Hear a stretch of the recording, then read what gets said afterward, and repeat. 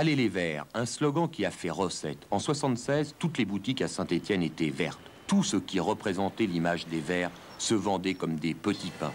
Tous les Stéphanois y ont retrouvé leur compte, à commencer par les élus locaux comme le maire, qui ne cherche pas aujourd'hui à diminuer l'impact du club sur sa ville. Certains euh, mettent des affiches dans le métro, certains de mes collègues mettent des affiches dans le métro, d'autres les mettent dans des grands journaux euh, parisiens, dans les, grands, dans les grands médias. Eh bien, moi, nous les mettons dans la SS, euh, qui est notre, notre ambassadeur itinérant, notre représentant de commerce, si je puis dire, qui va un peu partout et qui porte, je l'espère de façon glorieuse, les couleurs de la ville. Alors pour une, une ville comme Saint-Étienne, les verres, ça coûte cher, mais ça peut rapporter gros alors. Voilà. Tout à fait. Je crois que je suis tout à fait. je, prends à mon compte votre formule. Ça peut rapporter gros euh, et ça coûte cher. Euh, ça dépend, si vous voulez. Quand il y a eu quand même, à l'époque de la grande épopée, euh, j'avais fait faire un comptage un petit peu des minutes de télévision. Vous savez qu'elles sont fort chères si on les passe en publicité. Des, des articles rédactionnels qui avaient été faits. Ça représentait des sommes fabuleuses, fabuleuses.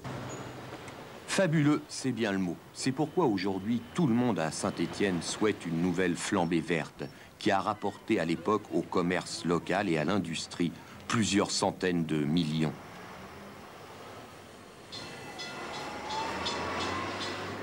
Il est difficile de chiffrer les retombées, mais il ne serait pas pensable que notre ville n'ait pas ce club. Quels sont les, secteurs d'activité les plus touchés par, euh, par les retombées de, Saint-Étienne, par l'impact du club C'est d'abord le commerce local, voire régional.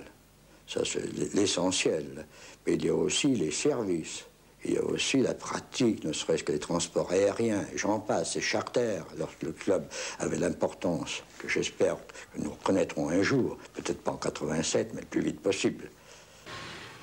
Restaurants, hôtels sont bien sûr les deux commerces qui ont profité le plus de l'épopée des Verts un véritable gâteau pour le tiroir caisse.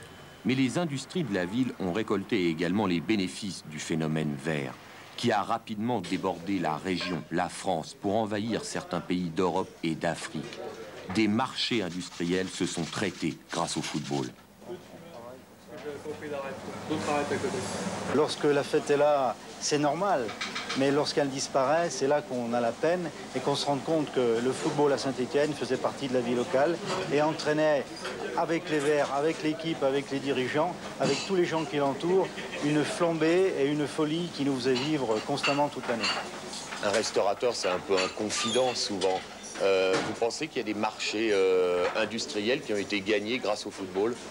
Ah, tout à fait. Si on, veut être franc, euh, beaucoup d'industries euh, traitaient à marché égal et gagnaient le marché à condition d'avoir une belle place bien placée dans les tribunes de Geoffroy Guichard pour un match de Coupe d'Europe. Avec ce retour tant attendu des Verts en première division, les Stéphanois rêvent déjà d'une nouvelle épopée européenne. Pour eux, la crise est oubliée. Seuls restent dans les mémoires les magnifiques exploits réalisés sur le terrain en Coupe d'Europe sous ce célèbre maillot vert que tout le monde regrette aujourd'hui. On avait toujours, toujours sur notre étiquette verte sur nos voitures, euh, Saint-Étienne, euh, et puis cette équipe, elle était verte. Et quand euh, les joueurs se trouvaient sur le stade Geoffroy Guichard, on écoutait les Verts, les Verts, les Verts. Qui c'est les plus forts? Évidemment, c'est les Verts. Je serais heureux d'en voir revenir ce maillot vert, vert qui, était la couleur, de l'espérance, la couleur de la, jeunesse, la couleur du printemps, de la gaieté, et qui était en même temps la couleur stéphanoise faite par le casino au départ. Le maillot redeviendra le vert euh, qu'il avait il y a quelques années pour qu'on retrouve vraiment, en plus à travers le maillot, une nouvelle équipe. Encore à l'étude, le maillot de Saint-Étienne retrouvera donc sa véritable couleur, le vert de l'espoir.